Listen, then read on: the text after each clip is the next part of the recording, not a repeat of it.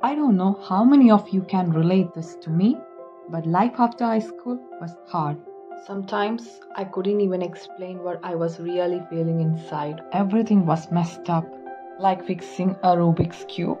Trying hard in all possible directions to fix it, but in the end, back to square one. When I was sad, tired, disappointed in all the languages I know, I found happiness in an unknown language.